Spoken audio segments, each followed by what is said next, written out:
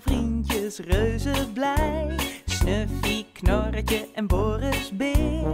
Kijk, ook Betje is er weer. Lekker buiten, iedereen. Niemand blijft alleen.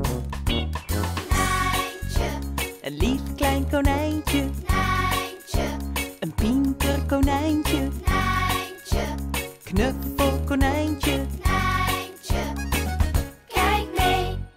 De wedstrijd van Boris. Op een dag rent Nijntje van school naar huis. Maar Snuffy rent haar voorbij en is als eerste bij de deur. Jij kan veel harder rennen dan ik, Snuffy, zegt Nijntje. Ik kan beter maar geen wedstrijdje met jou doen. En ineens krijgt Nijntje een idee.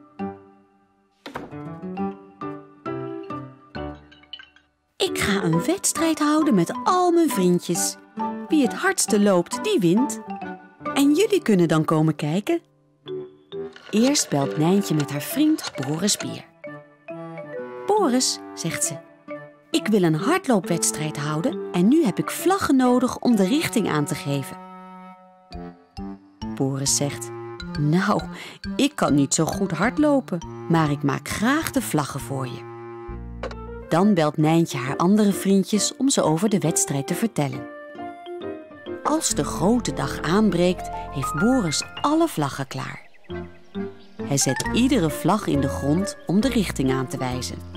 Een blauwe vlag, een gele vlag, een rode vlag, een groene vlag en de laatste, een witte vlag. Alle hardlopers staan aan de start.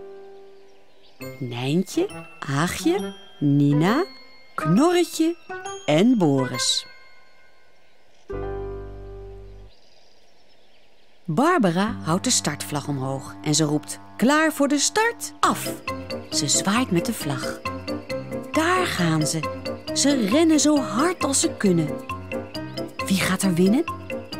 Eerst komen ze langs de blauwe vlag. Aagje rent voorop.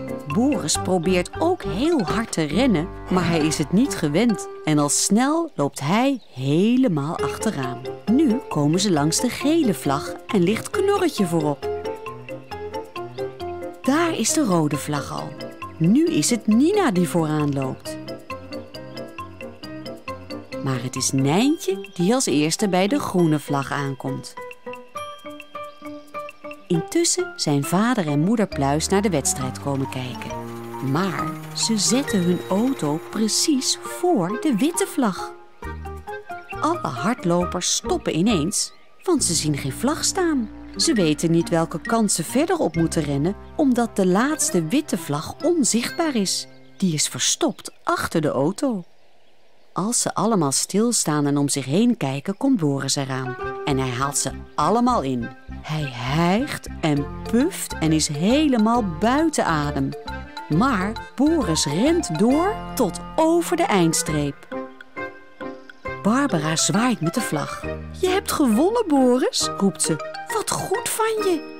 Dan rijden vader en moeder Pluis met de auto verder om de winnaar te feliciteren.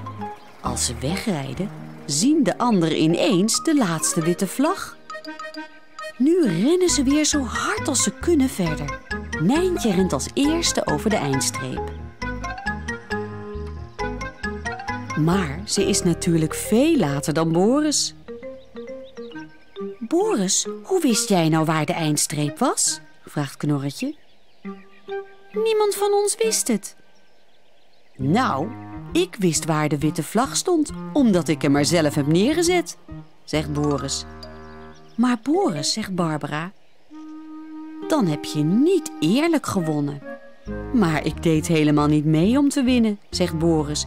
Ik rende gewoon mee voor de lol. Nijntje is de echte winnaar.